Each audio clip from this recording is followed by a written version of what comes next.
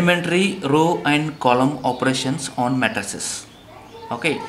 Now first you know the method then solve the examples. This is very simple. The matrix A is given. This is a row wise called R1 this is second row called R2 okay. Then this is a column wise. C1 first column. Okay. This is second column. That is called C2 okay R1 R2 R3 R4 C1 C2 C3 C4 like this. Row wise and this is column wise. Now first point. The interchange of any two rows or columns.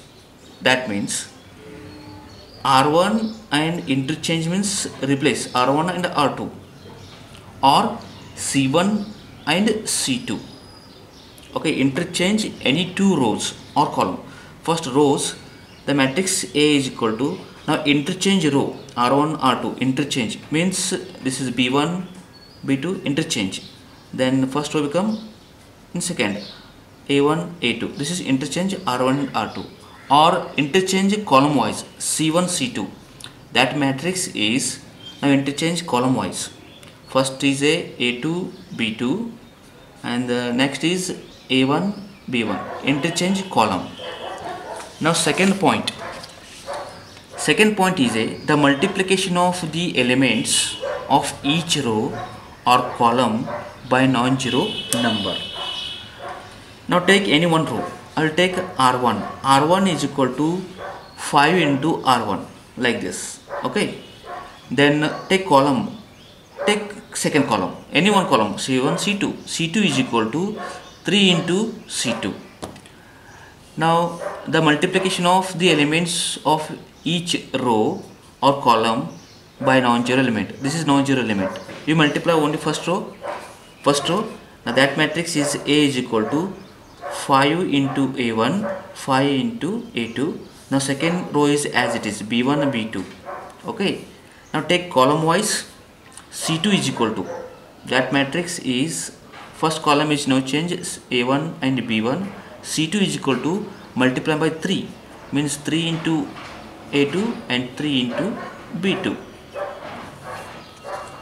next third point the addition to the elements of any row or column the corresponding elements of any row or column multiplied by non-zero number denoted by Ri is equal to Rj plus K Rj. And for column Ci equal to Ci plus K Cj okay. Now now example is like this. Uh, take first row second row. I'll take row wise. R1 is equal to R1 plus 2 R2 okay.